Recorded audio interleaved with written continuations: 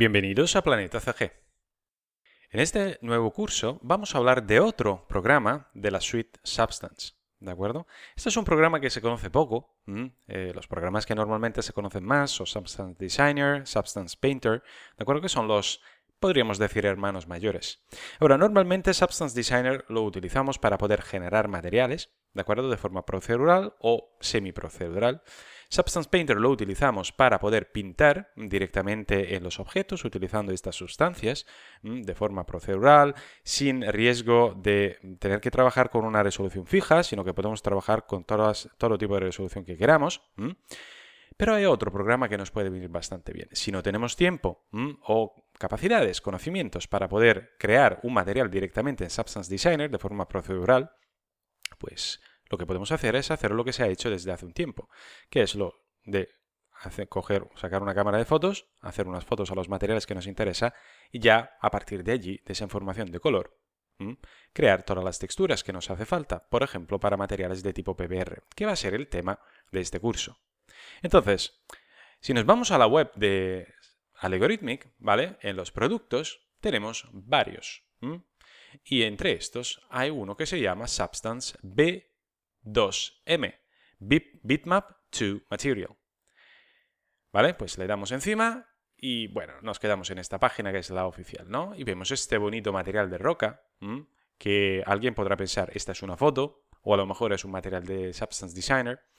Y si yo os digo que realmente sí, que es una foto, pero a partir de la cual se han generado todas las texturas, ¿de acuerdo? Que necesitamos para poder definir en su totalidad este material, bueno, este material, perdón, este programa es un generador de materiales PBR y no PBR. ¿De acuerdo? Por ejemplo, ¿vale? Lo que podemos hacer, aquí hay un caso, tenemos una imagen original, ¿vale? Puede ser nuestra foto, puede ser una imagen que hayamos sacado, por ejemplo, de Google, de motor de búsqueda, o de textures.com, una web especializada en texturas, da igual de donde lo hayamos sacado, o con nuestro móvil incluso. ¿De acuerdo? Pues a partir de esta imagen podemos sacar una, textura de base color, de normal, de roughness, de metallic y de ambient occlusion y hasta más. ¿De acuerdo? Y esto es justamente lo que vamos a ver en este curso. ¿De acuerdo? Entonces, aquí lo que haremos es lanzaremos el programa, este es, ¿de acuerdo? Veremos cómo funciona la interfaz, visor 2D, visor 3D, el panel de parámetros, donde tenemos todos los controles para poder controlar de forma global ciertas opciones o más específicas, tipo relieve, que controla el normal map.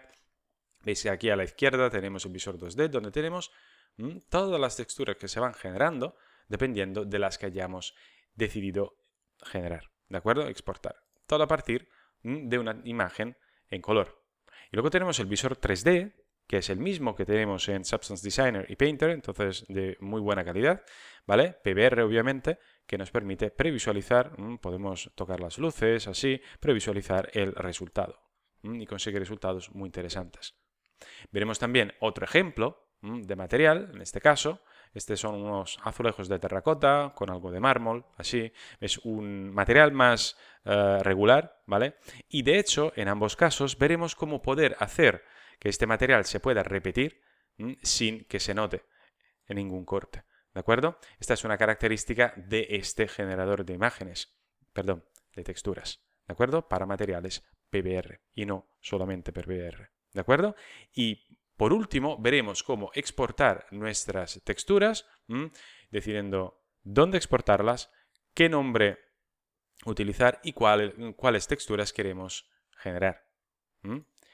Y el último vídeo que veremos en este curso tendrá que ver con el hermano mayor Substance Designer. ¿Y esto por qué? Bueno, porque en realidad en Substance Designer tenemos un nodo que se llama Bitmap to Material. ¿De acuerdo? De modo que podríamos importar una textura, una imagen dentro de Substance Designer y utilizar este nodo con controles muy parecidos a los que tenemos en el programa aparte y generar nuestros canales, como veis aquí. Base Color, Normal, Roughness, Height y Ambient. De modo que con este curso aprenderéis cómo poder, de una forma bastante rápida, conseguir un material PBR de alta calidad a partir de una sola imagen en color.